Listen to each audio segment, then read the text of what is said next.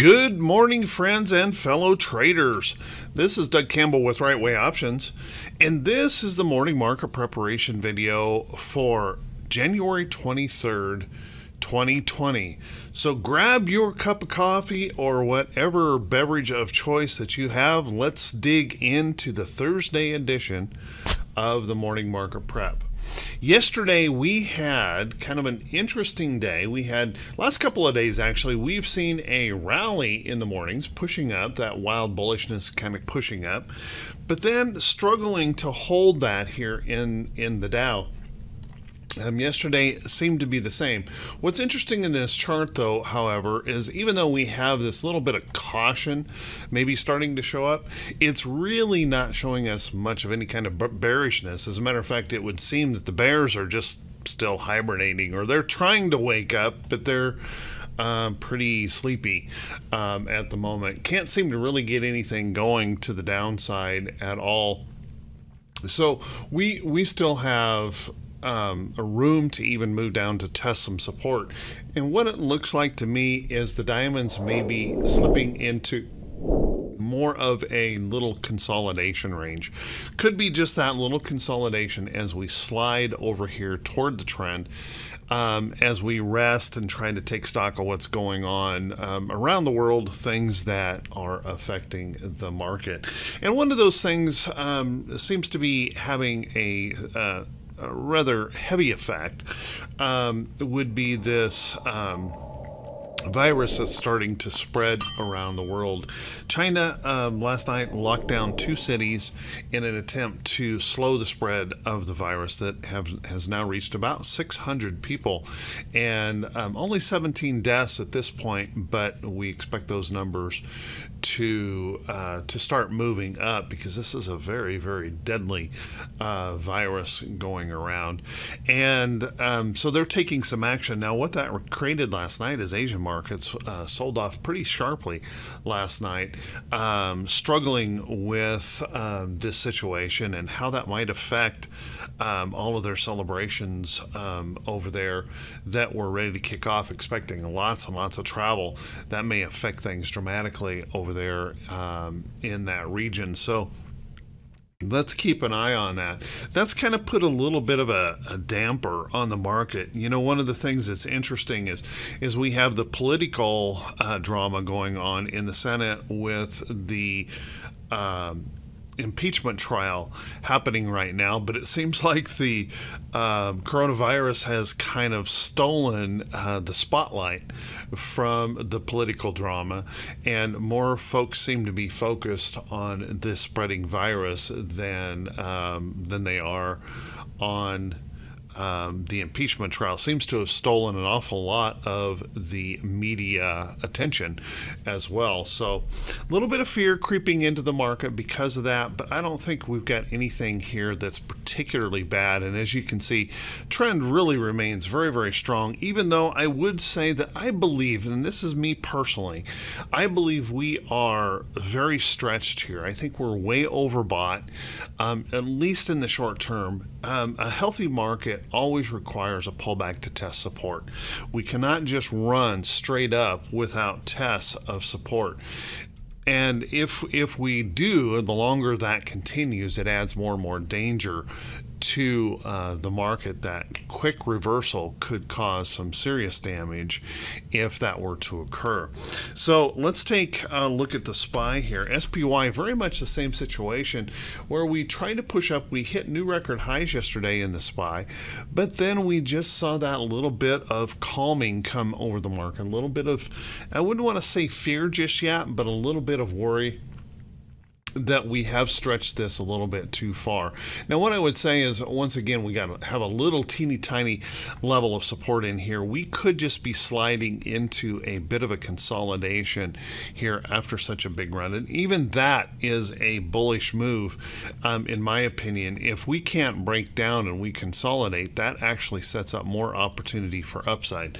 So keep that in mind. Um, if we just consolidate here, that's probably a healthy thing for the market market. Once again, we are pretty far stretched away from these key moving averages, and um, at some point in time, that could get very serious. As a matter of fact, if we look at this on a weekly chart, I'd almost have to say this is becoming a bit parabolic here in this move, and that is always a concern to be uh, made aware of. So let's take a look at the Qs. Now, Qs remained quite strong yesterday, um, setting new record highs. As you can see, this bullish uh, trend really uh, impressive, but it is extending here um, in this last part of the move, and you can see a bit of a, um, a bearish kind of candle pattern here um, starting to show up. But I don't think it's going to be too serious, um, at least at the moment in that chart. But one thing, uh, once again, I'm going to point out, we are, this is a weekly, we are very stretched away from our averages and we are gaining that appearance of that parabolic look um, on that weekly chart. We need a rest or a consolidation. So perhaps just a little consolidation over to trend is exactly what we need. And that may be just what the doctor ordered. So if we can just kind of slip sideways here for a while, that would be very bullish for the market without seeing those bears really kick up. Let's take a look at IWM. Now, IWM has had a little bit more of a struggle here and you can see pulling back. But if I were to mark out the the major part of this trend, and I'm really going to start it here because this was kind of a rally back after a big sell-off, kind of start in here, you can see we still are holding this trend and we're holding this support level across here. So, so far, no technical damage has been done in IWM other than, you know, we tried to break through that resistance up here and failed to hold on to that, but really no major technical damage showing up even in IWM, at least as of right now. Now, today we have a really big um, day of earnings reports, and we'll want to keep an eye on that. In fact, it, in fact, it's the biggest of this week, and it is the biggest of this quarter so far. So we'll want to keep an eye on that. If if we happen to get a stumble from one of these um, earnings reports, that's where we could have some trouble. If if something stumbles, and we'll want to watch that pretty closely. But right now, um, on the VIX, we had a little tiny bit of fear creeping into the market um, yesterday. You can see we've bounced up off of this low area, creeping up here just a little bit with that selling yesterday, but I don't see anything in here that is terribly concerning, at least at the moment. As you can see, if we draw a line across here, there's some support resist or resistance in this area of the chart, and we would have to break through there, even to come up here and attack the downtrend that we have going on here in the VIX. So I don't see anything major here causing an awful lot of fear. And then in T2122, although we've been trying to make those move up the day trying to pop up, it's been very select stocks doing that. Um, we're still having the big guys, the the Google, the Apple, the Microsoft, the Facebook, those kind of stocks holding the market up, while the rest of um, stocks seem to be getting a little bit of a rest or a little bit of a pullback.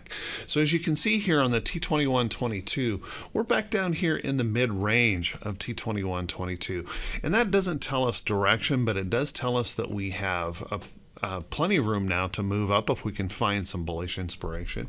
But we still have that potential of that move down if we find some bearish inspiration. So let's keep an eye on that close. We're kind of in that mid range where we could go either direction.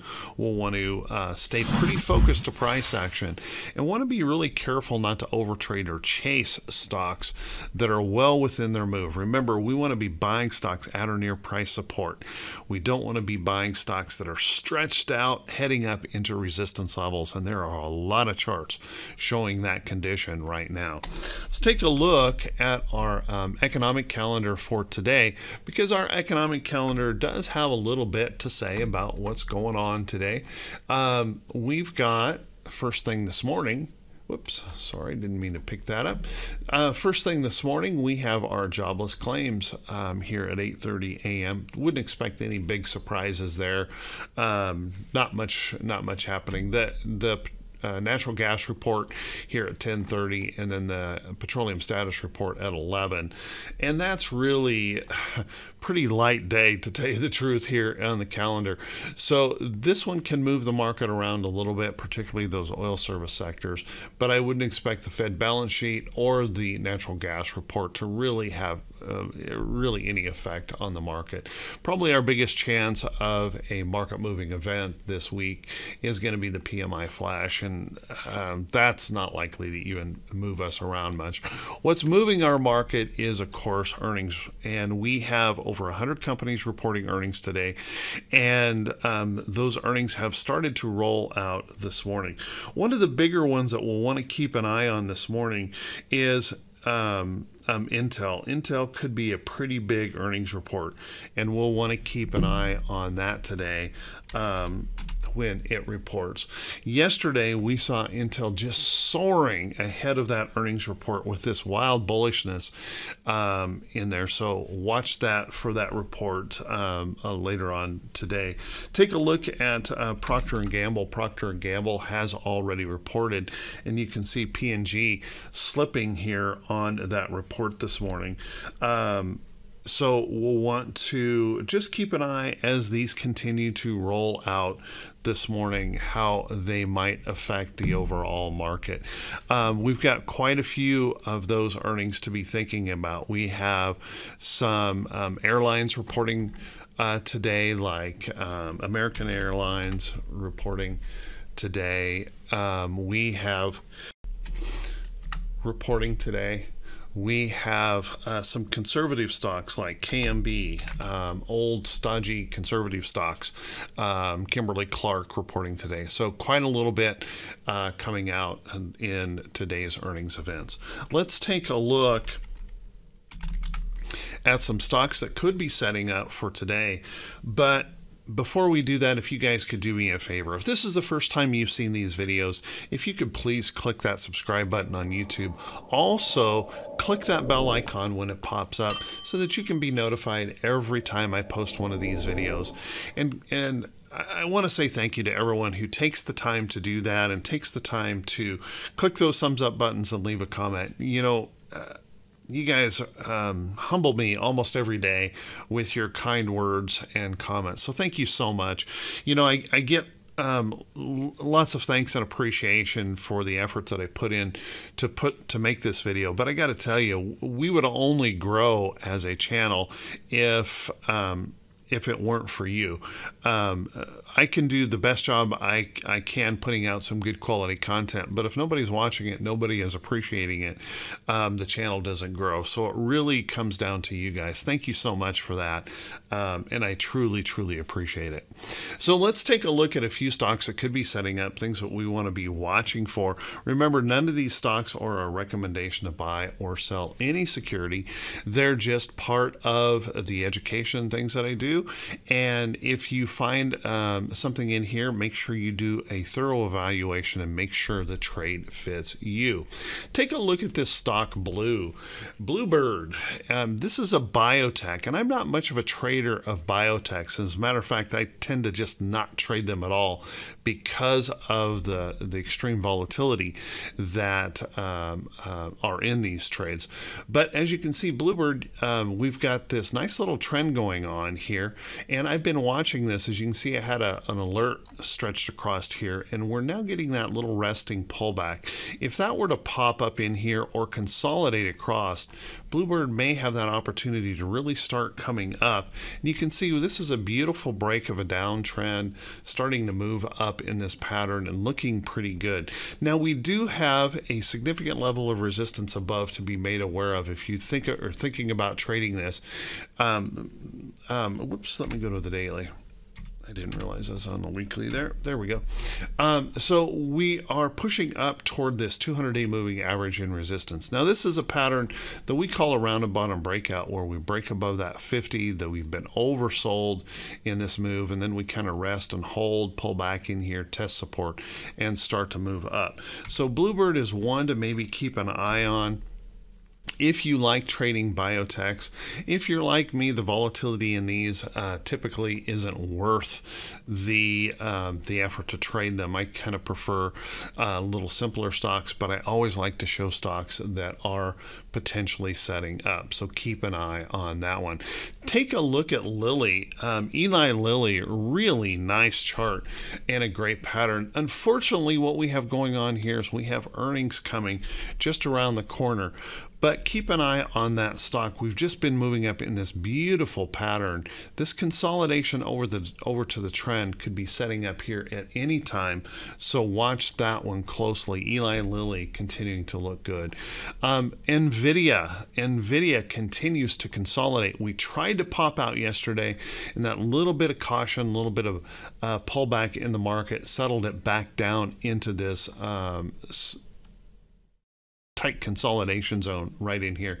And watch this in here. If that continues to move over toward that trend for that opportunity for that to pop out. Now, um, it could be, uh, you know, something as simple as the Intel report um, inspires NVIDIA higher. So watch this here. And if we pull this back, you can see we do have some resistance area in this air, uh, chart. So that's one of the things that's holding it down.